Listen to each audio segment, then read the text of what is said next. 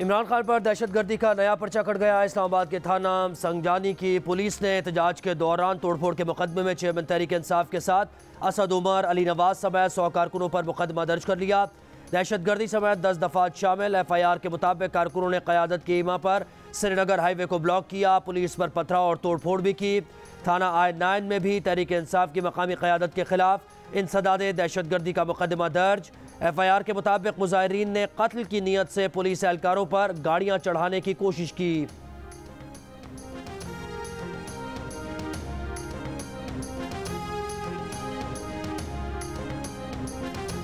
वो तोहफे निकाल कर एक तो दुबई में भेज दिया। जिस दुकान के पास या जिसके पास वो घड़ी बेची जो चौदह पंद्रह करोड़ रुपए की थी, वो उसी ने वो जो रेयर जो होते हैं मॉडल्स बनाए जाते हैं। वो वो वो उसी ने बनाए तो उसने आगे जिनसे मिला तो उनको फ़ोन कर दी जनाब ये ये घड़ी आई एक अपना कोई ये चोरी तो नहीं होगी? वज़ीर अजम शहबाज शरीफ ने कहा है कि इमरान खान को बतौर वज़ीर अजम जो महँगे तोहफे दोस्त ममालिक से मिले वो बेचकर पैसे अपनी जेब में डाल दिए। घड़ियाँ पंद्रह हज़ार या पंद्रह लाख की नहीं पंद्रह करोड़ की थी। दुबई में जिस दुकान से इमरान खान के लिए तोहफा बनवाया गया उसी दुकान पर घड़ी बेचने पहुँच गए। खरीदने वाले ने वो घड़ी तोहफा देने वाले मुल्क के हवाले की। मकाम इबरत है, दूसरों को चोर कहने वाला इमरान खान खुद चोर डाकू खाइन और दगाबाज साबित हुआ।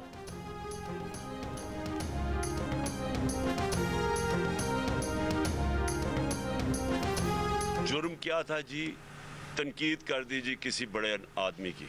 कौन सा मुल्क इजाज़त देता है कि एक तनकीद, ट्वीट की तनकीद के ऊपर ये किया जाए? कौन सा कानून इजाज़त देता है? लेकिन जो सबसे जो खौफनाक चीज़ है कि उन्होंने पकड़ाया इनको किसी और के हवाले किया। वो लोग कौन थे? इमरान खान ने कहा है कि जुमेरात या जुमे को लॉन्ग मार्च की तारीख का ऐलान कर देंगे। प्रेस कॉन्फ्रेंस में कहा, जब से ये आए हैं, तहरीक इंसाफ को क्रश करने में लगे हैं।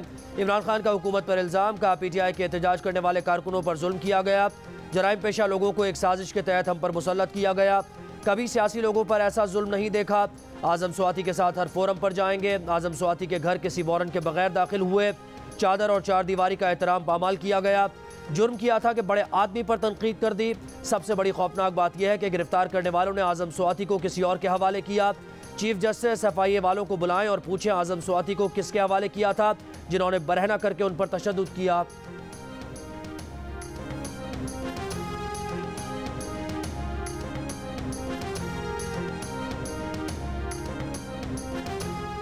चोर के लिए जिसकी चोरी साबित हो गई है, उसके लिए कौन निकलेगा? और जब कोई निकला नहीं तो शाम को आके शर्मिंदगी से ये कह दिया कि मैं एहतजाज कॉल ऑफ़ कर रहा हूँ। तो एहतजाज हुआ कौन सा था जिसको आपने कॉल ऑफ़ करना था भाई? मरीम नवाज़ ने कहा है कि एक चोर जिसकी चोरी साबित हो गई है, उसके लिए कौन बाहर निकलेगा? जब कोई एहतजाज करने नहीं निकला तो शाम को शर्मिंदगी से कह दिया कि एहतजाज की कॉल वापस ले रहा हूँ। लंदन में मीडिया से गैर रस्मी गुफ्तु में मरीम नवाज़ ने यह भी कहा। कि एहतजाज हुआ ही कौन सा था जिसे आपने ख़त्म कराना था?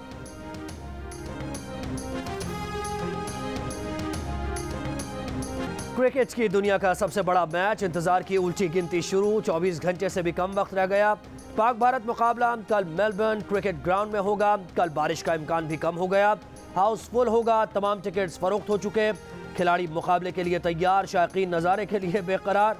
पाकिस्तान टीम ने प्रैक्टिस करके तैयारियों को हतमी शक्ल दी। शाहीन आफरीदी की वापसी के साथ पाकिस्तान की pace battery charge.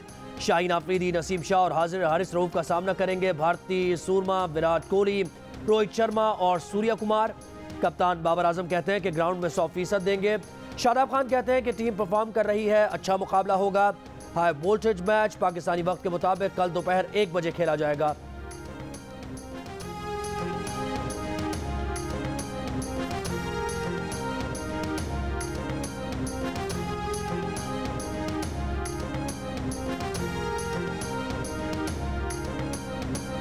ग्राउंड से पहले जियो न्यूज़ की स्क्रीन पर पाक भारत टाकरा, जियो न्यूज़ और भारतीय चैनल आज तक न्यूज़ पर। दोनों मुल्कों के क्रिकेट एक्सपर्ट्स अपनी राय देंगे।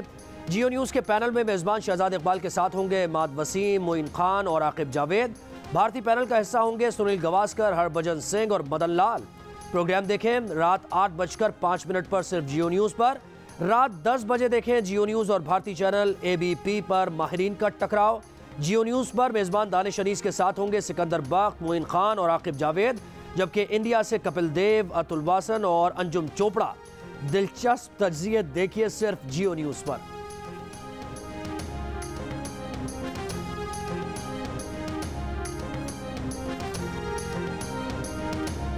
Judge us as judges.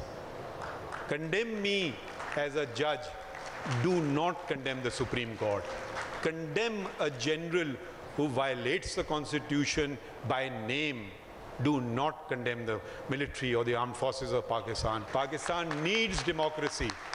Zulfikar Ali Bhutto was ordered to be hung on the orders of the Supreme Court. Another Prime Minister is removed for non disclosure of notional income which he never received. It says, Mr. Prime Minister, you were entitled to receive salary, you did not receive it, and you did not disclose it. So, you're not a good Muslim. So, we sent you home. That's what the judgment says. I won't say if I agree or not. Anyways, that's what it says.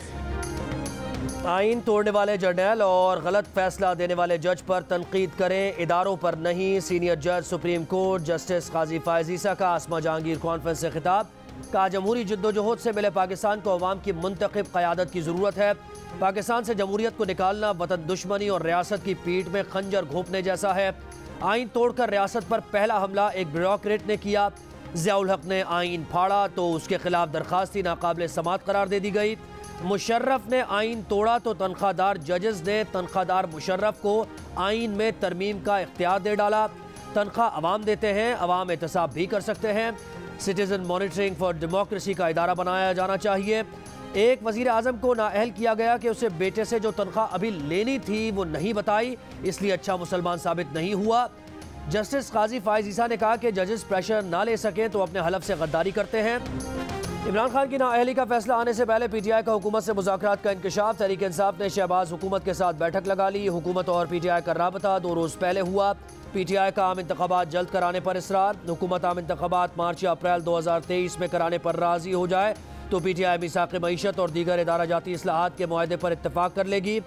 P D M क़्यादत हुकूमत की मुद्दत मुकम्मल करने पर डट गई। अंदर की खबर देने वालों ने कुछ रोज़ में एक और मुलाकात का इम्कान ज़ाहिर कर दिया।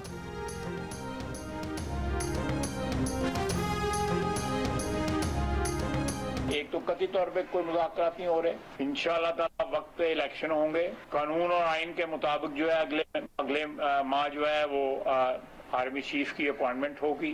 जो हालात आइंदा आने वाले चंद दिनों में अनफोल्ड हो रहे हैं, इमरान खान साहब को एक चीज़ का ध्यान रखना चाहिए कि उनकी सफ़ों में जिस तरह तोड़ फोड़ शुरू होगी और सबसे पहले उनको चौधरी परवेज लाई का ख्याल करना चाहिए। कतई तौर पर मुजाकर नहीं हो रहे इंतबात वक्त पर ही होंगे। वज़ीर दिफा खाजा आसिफ ने तहरीक इंसाफ के साथ मुजाकर की तरदीद कर दी। कहते हैं, ये दावा भी किया कि इमरान खान की सफ़ों में तोड़ फोड़ होगी। वो ध्यान रखें और सबसे ज़्यादा परवेज लाही का ध्यान रखें। वो कहीं और ना चले जाएँ। बहुत से दूसरे लोग भी नई पनागाहें ढूंढेंगे। ये बाहर कुछ जबान इस्तेमाल करते हैं और अंदर सदर आरिफ अलवी के ज़रिए मिन्नतें तरले करते हैं कि आर्मी चीफ को तीन माह तो कभी छः माह की एक्सटेंशन दी जाए। कभी कहते हैं कि फला बंदा ना हो तो बाकी जिसको मर्ज़ी आर्मी चीफ बना लो। अगले माह आर्मी चीफ की तकर्री होगी।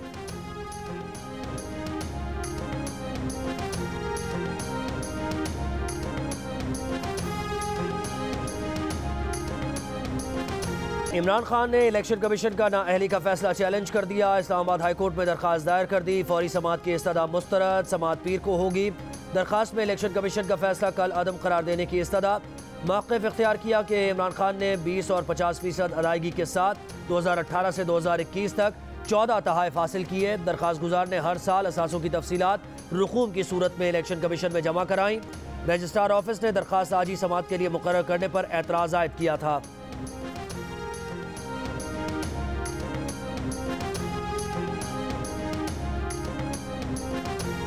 इलेक्शन कमीशन की तोहन नहीं करना चाहते। लेकिन एक ऐसे इलेक्शन कमीशन का क्या किया जाए कि जिसके चीफ इलेक्शन कमिश्नर और दो मेम्बरान यानी पाँच में से तीन मेम्बरान के ख़िलाफ़ रेफरेंस पेंडिंग हो, आला अदालतें उस रेफरेंस को सुने ना और हमें रोज़ उसी इलेक्शन कमीशन के सामने भेज दिया जाए कि इसी से ही आप अपने फैसले करवाएँ। तो आप उसको हम फूलों के हार पहनाने से तो रहें। सुप्रीम जुडिशल काउंसिल का इजलास बुलाएँ और इलेक्शन कमीशन के ऊपर आप रेफरेंसेस का फैसला करें। इमरान खान की नाअहली के फैसले में तब्दीलियाँ की जा रही हैं। हुकूमत की मर्ज़ी की चीज़ें जो कल शामिल नहीं थी, वो शामिल की जा रही हैं। पी टी आई के फवाद चौधरी का इलेक्शन कमीशन पर बदयानती का इल्ज़ाम।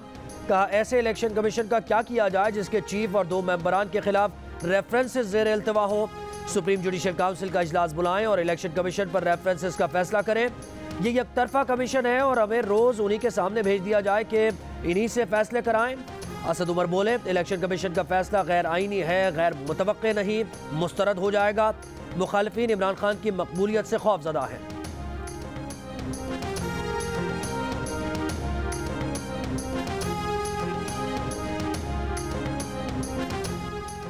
जस्टिस काजी फायजीसा ने सुप्रीम कोर्ट के लिए नामजद तीन नामों पर एतराज़ उठा दिया। चीफ जस्टिस ऑफ़ पाकिस्तान को खत लिख दिया। जराए के मुताबिक खत में लाहौर हाई कोर्ट के जस्टिस शाहिद वहीद के नाम पर एतराज़ उठाया गया।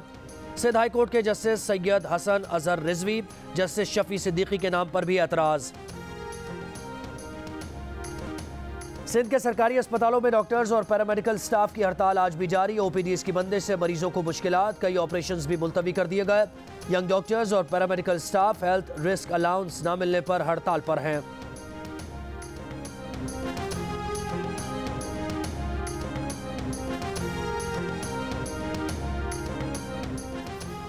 वज़ीर अला शिकायत सेल के मुल्तान के चेयरमैन शेख ताहिर को बचपन के दोस्त ने साथियों के साथ मिलकर कत्ल किया। तीनों मुलजिम गिरफ़्तार। पिस्तौल बरामद। पुलिस के मुताबिक मुलजिम शेख ताहिर की कंपनी में सुपरवाइजर था।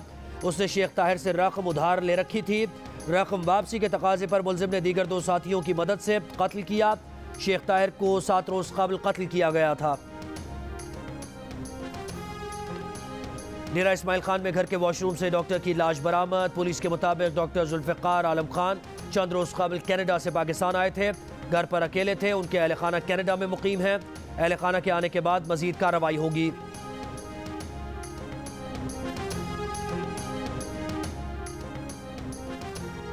Corps commander Peshawar lieutenant general Hassan Azhar Hayat का जनूबी वजीरस्तान का दौरा, मैसूर जिरगे के कबायली अमायदीन से मुलाकात। कबायली अमायदीन ने अम की बहाली पर पाक फौज का शुक्रिया अदा किया। कुर कमांडर पेशावर ने कहा कि दहशत गर्दी के खिलाफ बेमिसाल कामयाबियाँ कबायलियों की कुर्बानियों से मुमकिन हुई। मकामी लोग सिक्योरिटी फोर्सेज के साथ कंधे से कंधा मिलाकर खड़े हैं। पाक फौज इलाके में समाजी और इकतदी तरक्की के लिए हर मुमकिन मदद फराहम करेगी।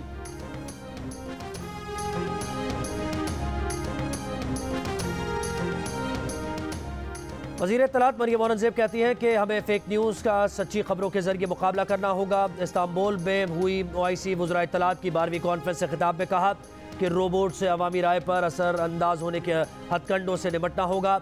पाकिस्तान का तुर्की में फिल्मी मेले में शिरकत का ऐलान पाक तुर्क कल्चर सेंटर के क्याम का भी फैसला, ड्रामा और फ़िल्म के शोबों में ताबन बढ़ाने और स्क्रीन टूरिज़्म के लिए जॉइंट वेंचर्स का फैसला।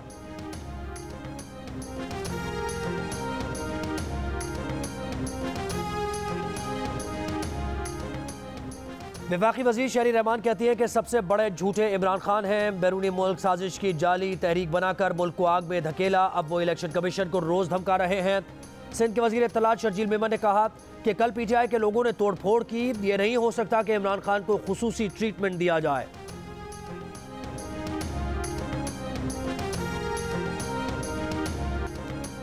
ट्रंप हाजिर हो, सबक अमरीकी सदर का समन जारी हो गया। कैपिटल हिल पर हमले की तहकीकत करने वाले पैनल ने सबक सदर डोनाल्ड ट्रंप को तलब कर लिया। डोनाल्ड ट्रंप कैपिटल हिल हमले में मुलवस होने पर बयान रिकॉर्ड कराएँ। मीडिया रिपोर्ट्स के मुताबिक, मुमकिन तौर पर ट्रंप की तलबी पर समाज चौदह नवंबर को होगी। डोनाल्ड ट्रंप के सबक एडवाइज़र स्टीव बैनन को चार माह कैद की सज़ा सुना दी गई। स्टीव बैनन पर कांग्रेस की तोहन के दो इल्ज़ाम साबित हुए। बैनन ने कैपिटल हिल हमले की तहकीकत करने वाले पैनल का समन लेने से इनकार किया था।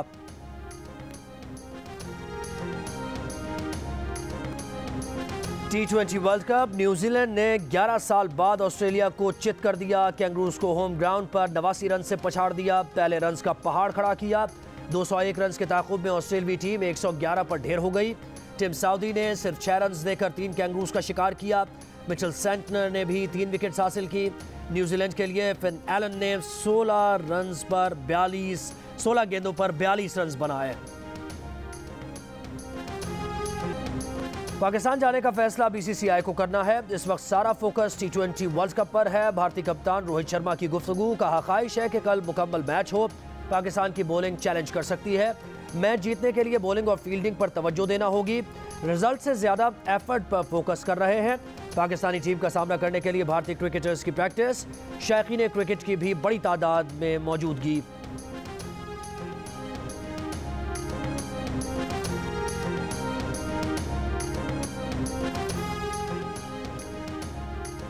जियो न्यूज़ के प्रोग्राम जश्न क्रिकेट में आज की मेहमान होंगी अदाकारा उर्वा हुसैन। गुजशत रोज 500 की दौड़ में आखिब जावेद ने मोइन खान और इमाद वसीम को हरा दिया।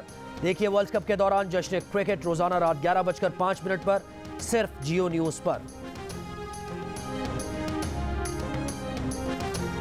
और जियो फिल्म्स की पेशकश, लाशारी फिल्म्स और इंसाइक्लोमीडिया का शाहकार, the legend of Maula Jatt ने दूसरे हफ़्ते के सिर्फ़ पहले जुमे को तमाम रिकॉर्ड्स तोड़कर दो करोड़ पचपन लाख रुपए कमाए, जबकि जवानी फिर नहीं आनी टू ने एक करोड़ अड़तीस लाख और संजू ने एक करोड़ पिछहत्तर लाख का बिज़नेस किया था।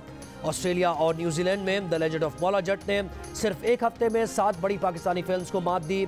वार जवानी फिर नहीं आनी टू लंडन नहीं जाऊँगा। पंजाब नहीं जाऊँगी, बिन रोए तीफा इन ट्रबल और परवाज है जुनून की पूरी आमदनी के बराबर। इस फ़िल्म ने सिर्फ़ एक हफ़्ते में कमा कर दिखाया।